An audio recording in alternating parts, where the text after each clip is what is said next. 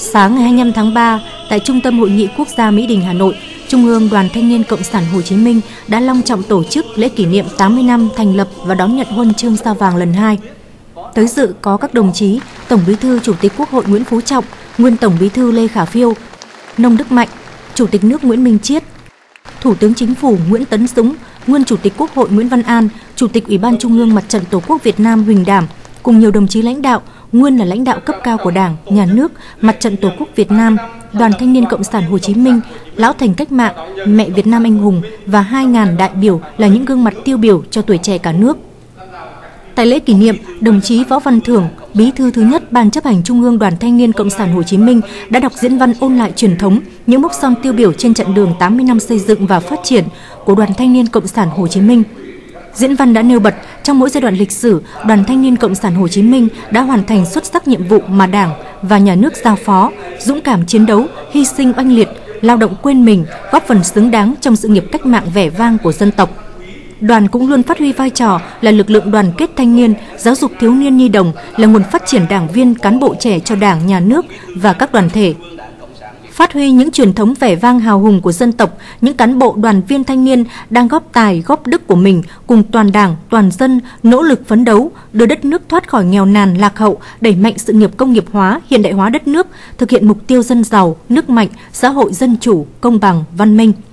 các phong trào thi đua yêu nước trong thanh thiếu niên do tổ chức đoàn phát động ngày càng có chất lượng hiệu quả, trong đó điển hình là cuộc vận động tuổi trẻ Việt Nam học tập và làm theo lời Bác, phong trào thanh niên lập nghiệp, tuổi trẻ giữ nước, phong trào thanh niên tình nguyện.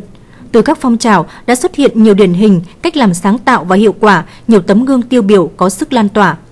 Phát biểu tại lễ kỷ niệm, Tổng Bí thư Chủ tịch Quốc hội Nguyễn Phú Trọng thay mặt Đảng, Nhà nước và nhân dân nhiệt liệt chúc mừng những thành tựu xuất sắc của Đoàn Thanh niên Cộng sản Hồ Chí Minh, biểu dương khen ngợi sự đóng góp to lớn của các thế hệ cán bộ đoàn viên trong cả nước. Đồng chí khẳng định với bề dày 80 năm xây dựng, phát triển, cống hiến và trưởng thành, Đoàn Thanh niên Cộng sản Hồ Chí Minh đã làm nên truyền thống vẻ vang,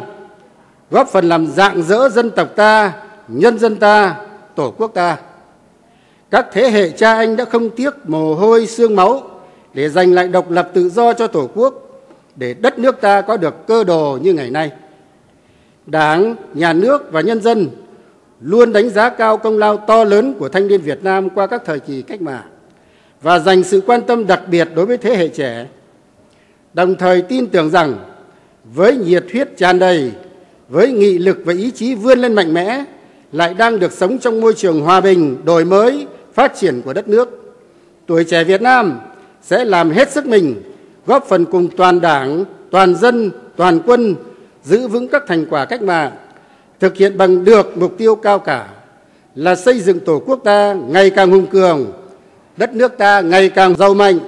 sánh vai với các cường quốc nam châu như bác hồ, hằng mong ước. Nếu không làm được như vậy, là hổ thẹn với lịch sử, là vong ân bội nghĩa với cha ông chúng ta tôi đề nghị tuổi trẻ việt nam ở mọi miền tổ quốc và ở nước ngoài hãy cùng nhau rèn đức luyện tài, phát huy truyền thống tốt đẹp của dân tộc, của đảng, của đoàn, ra sức học tập, rèn luyện, tiếp thu tinh hoa văn hóa, khoa học công nghệ hiện đại của nhân loại để trở thành một lớp người mới, một nguồn nhân lực có tri thức, chất lượng cao, cống hiến xây dựng đất nước ta phát triển nhanh và bền vững. Đoàn thanh niên cộng sản hồ chí minh tiếp tục đóng vai trò là hạt nhân chính trị nòng cốt trong phong trào thanh niên. Xứng đáng là trường học xã hội chủ nghĩa của thanh niên, đội dự bị tin cậy của đảng cộng sản việt nam sung kích đi đầu trong sự nghiệp đẩy mạnh công nghiệp hóa, hiện đại hóa, xây dựng và bảo vệ tổ quốc. Tổng Bí thư Chủ tịch Quốc hội Nguyễn Phú Trọng cũng nhấn mạnh tới năm vấn đề lớn cần được đoàn thanh niên đẩy mạnh trong giai đoạn mới, đó là luôn coi trọng công tác giáo dục chính trị tư tưởng, gắn các hoạt động của đoàn với các nhiệm vụ chung của đất nước, tổ chức học tập quán triệt sâu sắc nghị quyết đại hội toàn quốc lần thứ 11 của Đảng, là cầu nối quan trọng giữa thanh niên với Đảng, nhà nước, xây dựng Đoàn Thanh niên Cộng sản Hồ Chí Minh và các tổ chức thanh niên vững mạnh, toàn diện, mở rộng các hoạt động đối ngoại,